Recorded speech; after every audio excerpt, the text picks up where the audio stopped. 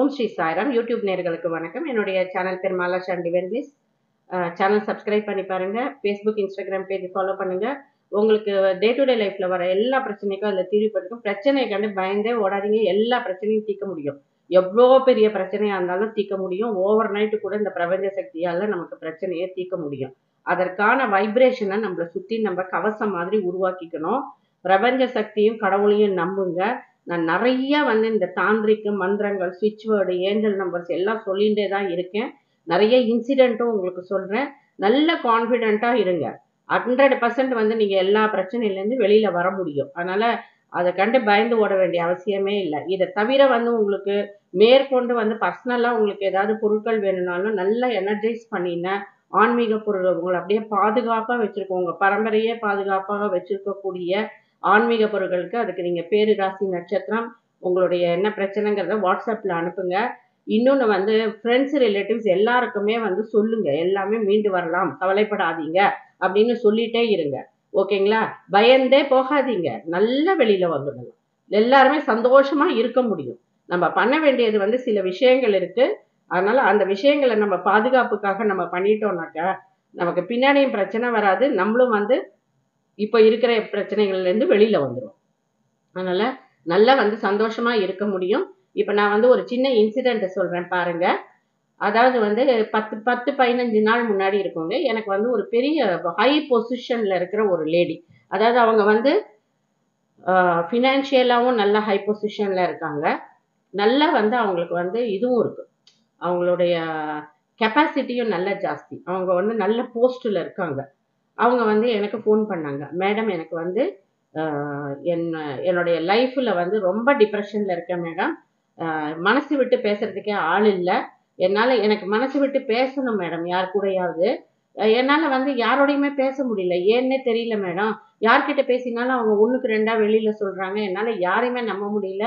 என் அண்ணன் தம்பியாக இருக்கட்டும் அம்மா அப்பாவாக இருக்கட்டும் நெருங்கிய தோழிகள்னு சொல்கிறவங்க இல்லை வந்து என்னோட கூட இருக்கிற ஹஸ்பண்டாக இருக்கட்டும் பசங்களாக இருக்கட்டும் யாருமே வந்து என்ன ஒரு ஒரு என்னுடைய எமோஷன்ஸை புரிஞ்சிக்கவே இல்லை. அவங்க என்கிட்ட இந்த விஷயத்த வாங்கி வெளியில் போய் சொல்லிடுறாங்க மேடம் நான் ஒரு டாப் பொசிஷனில் இருக்கேன். எவ்வளோ வந்து இதுவாக இருக்கும் எனக்கு? மனசு ரொம்ப வேதனையாக இருக்குது இதை தவிர என் ப்ராப்பர்ட்டிஸ் எல்லாம் வேற நிறைய வந்து கோர்ட்டில் கேஸ் இருக்குது எல்லாரும் அபகரிச்சுக்கிறதுக்கு பார்க்குறாங்க நான் ரொம்ப கஷ்டப்பட்டு சம்பாதிச்சது மேடம். என் கணவனும் எனக்கு சரி கிடையாது. பசங்களும் வந்து எனக்கு அவ்வளோ சாட்டிஸ்ஃபேக்ஷன் லெவல் இல்லை. நானும் எவ்வளவோ முயற்சி பண்ணி தான் பார்க்குறேன். எல்லாரையும் வந்து ஒரு இதுவாக கொண்டு வரணும்னு சொல்லிட்டு என்னை வந்து ஒரு சம்பாதிக்கிற மிஷினாக பயன்படுத்திக்கிறாங்க என் போஸ்ட்டை பயன்படுத்திக்கிறாங்க. நல்ல டாப் பொசிஷனில் இருக்கிறவங்க. எல்லாருக்குமே அவங்களுக்கு தெரியும் ரொம்ப பப்ளிக்கான இவங்க தான் அவங்க. அவங்க வந்து நல்ல வந்து ஒரு இதில் இருக்காங்க. ஒரு பதவியிலையும் இருக்காங்க. நீங்கள் தான் மேடம் சொன்ன உங்கள் வீடியோஸ் பார்த்தேன் ரொம்ப மோட்டிவேஷ்னல் வீடியோஸாக இருந்தது. நீங்கள் தயவு செஞ்சு என் பேரெல்லாம் வெளியில் சொல்லிடாதீங்க. நான் உங்ககிட்ட கொஞ்சம் மனசு விட்டு பேசணும் அப்படின்னாங்க. எனக்கு வந்து ஆச்சரியமா இருந்தது. இவ்வளோ பெரிய டாப் பொசிஷன்லேருந்து உங்களுக்கு மனசு விட்டு பேசுறதுக்கு கூட ஆள் இல்லையா? அப்படின்னு நானும் கொஞ்சம் யோசிச்சு பார்த்தாக்கா நம்மளும் அதே நிலைமை தான் எல்லாருமே யோசிச்சு பாருங்களேன். எல்லாருக்குமே அதே நிலைமை தான் அப்போ எனக்கு வந்து நான் வந்து என்ன பண்ணினேன்னாக்கா உடனடியாக ஃபஸ்ட்டு வந்து அவங்களுக்கு மெயினான ப்ராப்ளம் வந்து இந்த ப்ராப்பர்ட்டிஸ் ப்ராப்ளம் இருந்தது. ஸோ அவங்களுக்கு வந்து ப்ராப்பர்ட்டிஸ்லேருந்து ப்ராப்பர்ட்டி எல்லாம் மீட்கணும் இல்லையா? அப்போ அவங்க கஷ்டப்பட்டு சம்பாதிச்சிருக்காங்க. அதுக்கு அவங்களுக்கு வந்து அந்த மூணு மந்திரத்தை சொல்ல சொன்னேன். லலிதம் லம்போதரம் லலிதம் சூரியநாராயணம் லலிதம் லக்ஷ்மி நாராயணம் ஏர்லி மார்னிங் அவங்கள யாரோடையும் பேசாமல் அது ஆயிரத்தெட்டு தடவை ஜபம் பண்ண சொல்லிங்க. சொல்லிட்டு என்ன பண்ணினேன்னா இது தடங்கலை நீக்கும் ரெண்டாவது வந்து ப்ராப்பர்ட்டிஸ் ரெக்கவர் பண்ணும் ஸ்விட்ச் வேர்டு ஏஞ்சல் நம்பர் கற்றுக் கொடுத்தேன் அவங்களுக்கு. ஏன்னா அவங்களுக்கு சூட்டபிளானதை ஃபார்ம் பண்ணி கொடுத்துட்டேன் நான். ஸ்விட்ச் வேர்டு ஏஞ்சல் நம்பரும் இது வந்து அவங்களுக்கு ப்ராப்பர்ட்டிஸ் வந்து பதினஞ்சு பதினஞ்சு நாள் பத்துலேருந்து பதினஞ்சு நாள் ஆகுது அவங்க என்கிட்ட பேசி. இந்த இன்சிடெண்ட்டை இன்னைக்கு ஏன் சொல்கிறேன்னா அவங்க எனக்கு நேற்றுக்கு ஃபோன் பண்ணியிருந்தாங்க அதனால தான் சொல்கிறேன் அடுத்தது வந்து நான் வந்து என்ன பண்ணியிருந்தேன்னாக்கா அவங்களுக்கு வந்து மனசு விட்டு பேசணும். அப்படிங்கும் பொழுது நான் வந்து எனக்கு வந்து ஒரு பெரிய ஐடியா வந்தது. இது நல்லா ஒர்க் அவுட் ஆச்சு எனக்கும் ஒர்க் அவுட் ஆச்சு உங்களுக்கும் ஆகும். அதை பண்ணி பாருங்க. அவங்க கிட்ட நான் சொன்னேன் ஃபஸ்ட்டு வந்து நீங்கள் உங்களுக்கு சைல்டுஹுட் ஃப்ரெண்ட்ஸ் அதாவது எட்டாவது படிக்கிறதுக்கு முன்னாடி ஃப்ரெண்ட்ஸ் இருப்பாங்க இல்லையா? அவங்க யாராவது உங்களுக்கு ஞாபகத்தில் இருக்கா? யாருக்கிட்டையாவது பேசுனீங்களான்னு கேட்டேன். இல்லை மேடம் எனக்கு ஞாபகத்துலலாம் இருக்குது நான் யார்கிட்டையும் டச்சில் இல்லை அப்படின்னாங்க. எட்டாவதுக்கு அப்புறமா நமக்கு ஓரளவுக்கு விவரம் தெரிஞ்சிடுறதுனால நம்மளால யார்கிட்டையும் போய் பேச அவ்வளோ இதுவாக இருக்க மாட்டோம். எட்டாவதுக்கு முன்னாடினா நம்மள குழந்தைங்க. நம்ம மனசு விட்டு பேசுவோம். நம்ம அப்படியே இருப்போம். ஃப்ராங்காக இருப்போம். இன்னசென்ட் இன்னசென்ட் ஏஜுங்கிறது வந்து அந்த எட்டாவது படிக்கிறதுக்கு முன்னாடி தான் அப்படி சொன்ன உடனே அவங்க சொன்னாங்க மேடம் எனக்கு இருக்காங்க மேடம் ஃப்ரெண்ட்ஸு இருக்காங்க. இந்த ஊர்லேயே கூட இருக்காங்க. நான் படித்த ஸ்கூலில் இருக்கு மேடம் அது பக்கத்துலேயே வீடு இருக்கிறவங்களாம் இருக்காங்க. அவங்க என்ன பொசிஷனில் இருந்தாலுமே நீங்கள் டாப் பொசிஷனில் இருக்கலாம். என்ன பொசிஷனில் இருந்தாலுமே அவங்க வீட்டுக்கு வந்து ஒரு சர்ப்ரைஸ் விசிட் கொடுங்க அப்படின்னு. உடனே அவங்களுக்கு வந்து ஆச்சரியமாக இருந்தது. நான் எப்படி மேடம் அப்படின்னாங்க. ஏன்னா நான் அவங்க நல்ல பொசிஷன் நீங்கள் வந்து அதெல்லாம் யோசிக்காதீங்க. நீங்கள் அந்த அந்த பந்தா பண்ணுறது அதெல்லாம் விட்டுடுங்க. நீங்கள் வந்து ஒரு சாதாரணமான அந்த ஸ்கூல் படிக்கிற ஏஜில் இருக்கிற ஒரு பொண்ணு. உங்கள் ஃப்ரெண்டை தேடிட்டு வீட்டுக்கு போகிறீங்க அந்த மாதிரி போங்க. இந்த காபந்து பண்ணிட்டு போகிறது பாதுகாப்புக்கு வச்சுக்கிறது எதுவுமே வேண்டாம். நீங்கள் போங்க அப்படின்னு. உடனே வந்து அவங்க சொன்னாங்க மேடம் எப்படின்னாங்க? நான் சொன்னேன் நீங்கள் அதெல்லாம் இது பண்ணிக்காதீங்க எங்கேயோ பர்சனல் விஷயத்துக்கு போகிற மாதிரி கிளம்பிடுங்க. யார்கிட்டையும் சொல்ல வேண்டாம் நீங்கள் போங்க. எதுவும் ஆகாதுங்க நல்லது தான் நடக்கும். நம்மளை சுற்றி கடவுள் இருக்காரு பிரபஞ்ச சக்தி இருக்குது அதெல்லாம் விட பாதுகாப்பு ஒன்றும் பெரிய பாதுகாப்பு அதிகாரிங்களாம் நமக்கு கொடுத்துட போகிறது கிடையாது. கிளம்புங்கன்னு. உடனே அவங்க என்ன பண்ணியிருக்காங்க நான் என்கிட்ட பேசின நெக்ஸ்ட் டே வந்து நான் சொன்னேன் ஃப்ரீயாக போய் பேசுங்க அவங்க வீட்டில் உட்காந்துட்டு ஜாலியாக இருங்க பேசுங்க. உங்களுக்கு எவ்வளோ பேர் ஃப்ரெண்ட்ஸ் இருப்பாங்கன்னா நிறைய பேர் இருக்காங்க மேடம்னு அவங்க நிறைய லிஸ்ட் ஒரு லிஸ்ட்டை போடுங்க. அதில் வந்து யார் யார் வந்து க்ளோஸ் ஃப்ரெண்டோ உங்களுக்கு கூட போய் பேசுங்க. அவங்களோட போய் இன்னொரு ஃப்ரெண்டையும் போய் பாருங்கள் அப்படின்னு. உடனே இவங்க என்ன பண்ணாங்க அடுத்த நாளே அவங்களுக்கு வந்து நான் சொன்னது வந்து அவங்களுக்கு ஒரு பெரிய ஆச்சரியமான விஷயமா இருந்தது. இவங்க என்ன இப்படி சொல்கிறாங்களேன்னு ஏன்னா அவங்களுடைய மென்டாலிட்டியே வந்து படித்து பொசிஷனுக்கு போய் போய் வேற மாதிரி மாறி இவங்க இதை பற்றி யோசிக்கவே இல்லை. இவங்க என்ன பண்ணியிருக்காங்க? அவங்களோட க்ளோஸ் ஃப்ரெண்டு ஒருத்தங்களை போய் வீட்டில் போய் பார்க்குறாங்க. அவங்க வந்து சாதாரணமான இதில் தான் இருக்காங்க. அவங்க கல்யாணம் ஆகி குழந்தை பெற்றுட்டு அவங்க ஒரு சாதாரண நிலைமையில் இருக்காங்க. இவங்கள விட நல்லா படிக்கிற பொண்ணு அந்த பொண்ணு. கல்யாணம் பண்ணி குழந்தை பெற்றுட்டு ஹஸ்பண்டோட இருக்காங்க அவ்வளோதான் ஒரு சாதாரணமான ஒரு நடுத்தர வாழ்க்கை வாழ்ந்துட்டு இருக்காங்க. அங்கே போனாங்க. இவங்க போன உடனே அவங்களுக்கு வந்து பயங்கரமான ஒரு சர்ப்ரைஸ் அவங்களுக்கு. இவங்க எப்படி இங்கே வந்தாங்க? இவங்க எப்படி வர முடியும் இவங்கள பார்க்க முடியுமாங்கிற அளவுக்கு போயிட்டாங்க. என் ஃப்ரெண்டுன்னு கூட அவங்க சொல்லிக்க முடியாது. ஏன்னாக்கா அவங்க டாப் பொசிஷனில் இருக்காங்க. போய் ஃப்ரெண்டுன்னு சொன்னாக்கா யாராவது நம்புவாங்களான்னு. அவங்க வீட்டுக்கு வந்த உடனே இவங்களுக்கு அப்படியே சர்ப்ரைஸ் என்னடா அது கையும் ஓடலை காலும் ஓடலை. இவங்க இவங்களும் வந்து ஒரு எமோஷ்னல்ல போயிட்டாங்க. கையில கூட எதுவும் வாங்கிட்டு போகல அவ்வளோ இது. போனாக்கா அங்க வந்து குழந்தைங்க சின்ன சின்ன அவங்களோட குழந்தைங்க குழந்தைங்களோட குழந்தைங்க. அதுங்க விளையாடிட்டு இருக்கு பசங்க இருக்காங்க. ஒரு சி சின்ன ஒரு நடுத்தரமான ஒரு வீடு. ஒரு சும்மா ஒரு டபுள் பெட்ரூம் ஹவுஸு இவங்க போனோம்னா அப்படியே அவங்களுக்கு கண்ணில் தார தாரையாக தண்ணி வந்து அவங்க வந்து இவங்களை பார்த்த பார்வை வந்து அன்னைக்கு ஸ்கூலில் படிச்ச போது இவங்க ஃபிஃப்த் ஸ்டாண்டர்ட்லேருந்து எயித் வரைக்கும் கூட படிச்சிருக்காங்க. அன்னைக்கு ஸ்கூல்ல பார்த்த போது யார் என்னவா பார்த்தாங்களோ அதான் வந்து இவங்களை பார்த்தாங்க. பார்த்துட்டு அப்படியே ரெண்டு பேரும் ஓடி போய் கட்டி பிடிச்சிட்டு இவங்க அப்படியே வைரமும் வைடூரியமா ஜொலிக்கிறாங்க. அவங்க வந்து ஒரு சாதாரண நிலைமையில இருக்காங்க. ரெண்டு பேரும் கட்டி பிடிச்சிட்டு வாடி போடின்னு பேசிட்டு ரெண்டு பேரும் வாயை விட்டு சிரிச்சு மனசு விட்டு பேசி அன்னைக்கு ஸ்கூல்ல நடந்ததெல்லாம் பேசி சிரிச்சு டீச்சரை பத்தி எல்லாம் பேசி பயங்கரமா சிரிப்பு. இவ்வளோ வருஷம் கழிச்சு அவங்க மன அழுத்தத்திலேருந்து வெளியில வந்தாங்க. அவ்வளோ அந்த இப்பதான் ஃபர்ஸ்ட் மனசு விட்டு சிரிக்கிறாங்க. மனசு விட்டு பேசுறாங்க. அழுத்தத்திலேருந்து வெளியில வந்தாங்க இவங்க. அதே தான் அவங்க ஃப்ரெண்டுக்கும் அவங்களுக்கும் வந்து நிறைய அவங்களோட லெவல்ல அவங்களுக்கு நிறைய மன அழுத்தங்கள் எல்லாமே இருக்கு. அவங்களும் மனசு விட்டு பேசுறாங்க சிரிக்கிறாங்க. ரெண்டு பேரும் ஸ்கூல்ல நடந்த கதையை பேசுறாங்க. அவங்க ரெண்டு பேரும் காம்படிஷன்ல கலந்தது ரெண்டு பேரும் அடிச்சிருந்தது விளையாடினது எல்லாத்தையும் சிரிச்சுட்டு அப்போ வந்து ரெண்டு பேரும் திருப்பி மற்ற ஃப்ரெண்ட்ஸை பற்றி பேசும்பொழுது இவங்களுக்குன்னு ஒரு க்ளோஸாக ஒரு அஞ்சாறு குரூப் பீப்புள் இருப்பாங்க இல்லையா? உடனே வந்து அவங்களுக்கெல்லாம் ஃபோன் போட்டு பேசுகிறாங்க பேசும்பொழுது இவங்களுக்கு வந்து அப்படியே ஆனந்த கண்ணீர். ஓட அவங்க ஃப்ரெண்டை கட்டி பிடிச்சிட்டு நீ எங்களை என்னோட வரணும் நீ என்னோட கூட இரு. அதாவது வந்து அவங்க ப்ரொஃபஷ்னலாக வந்து அவங்களுக்கு எதுவுமே பண்ணணும்னு அவசியம் கிடையாது. ஆனால் அந்த ஃப்ரெண்ட்ஸ் வந்து அவங்கக்கிட்ட அப்ரோச் பண்ண விதம் இருக்கு பார்த்தீங்களா அன்னைக்கு வந்து அவங்கள ஒன்று ஒரு ஸ்கர்ட் போட்டுண்டு ஃப்ராக் போட்டுண்டு ஒரு குழந்தையா பார்த்தாங்க பார்த்தீங்களா அது மாதிரி தான் அவங்க இவங்கள பார்த்தாங்க. இவங்களும் அவங்கள பார்த்தாங்க.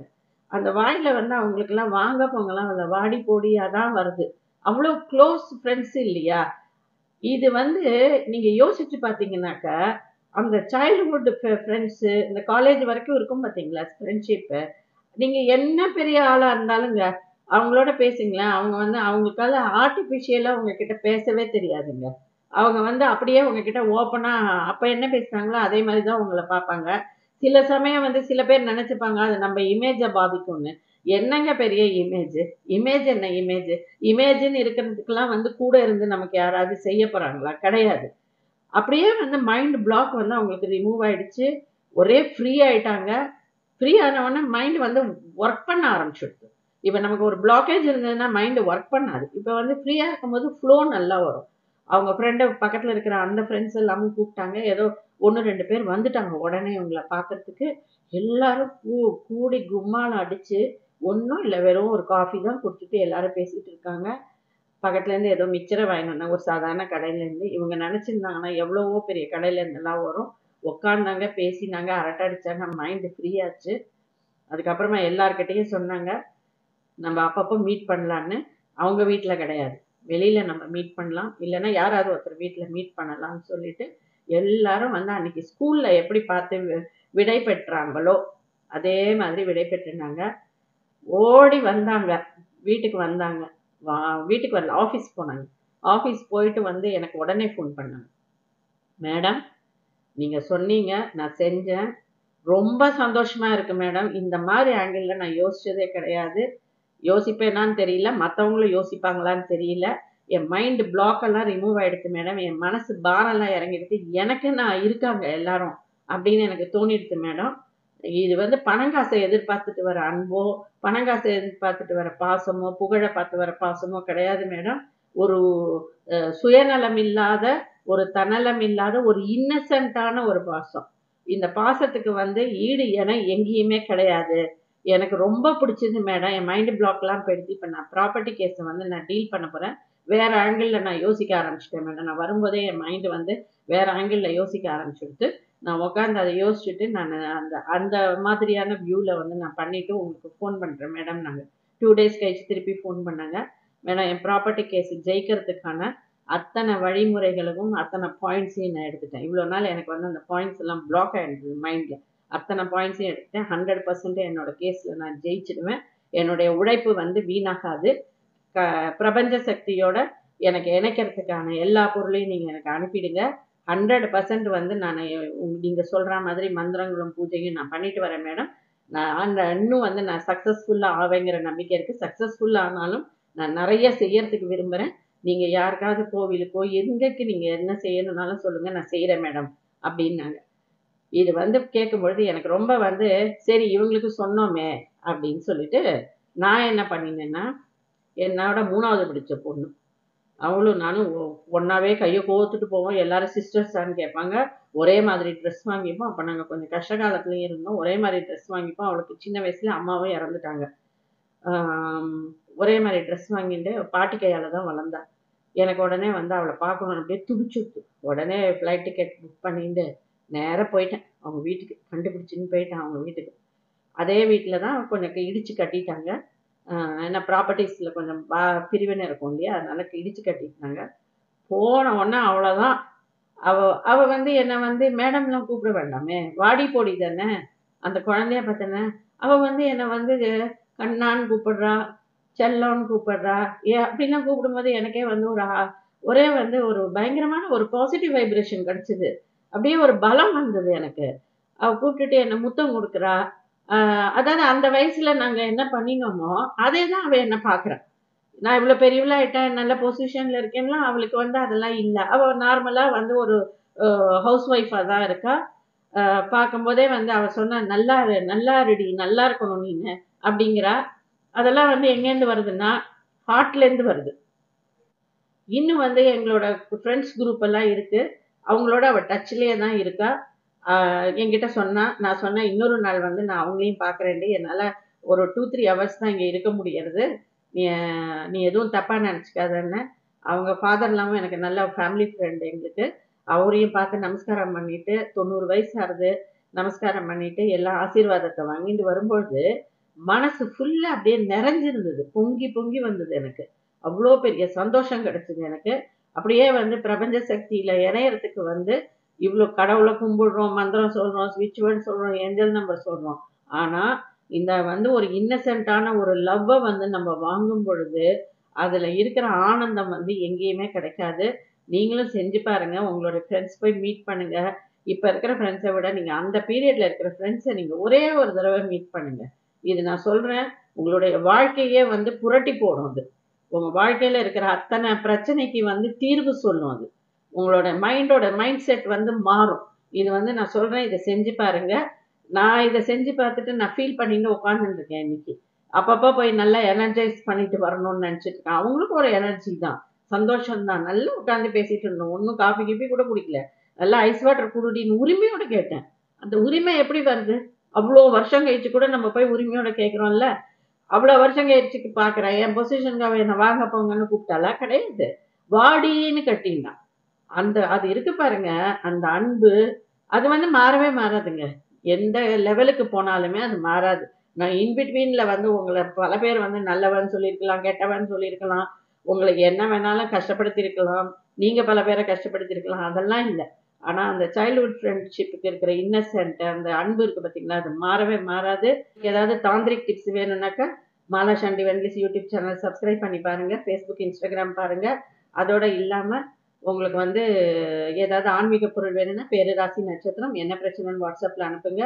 தலைமுடி வளர்கிறதுக்கு மங்குக்கு இயற்கை டை சுகர் பவுடர் இன்னும் வந்து உங்களுக்கு முட்டி வலி முழங்கால் வலிக்கு எல்லாத்துக்குமே எங்கிட்ட ஹெர்பல் ப்ராடக்ட்ஸ் இருக்குது வேணும்னா என்னை காண்டாக்ட் பண்ணுங்கள் நன்றி வணக்கம்.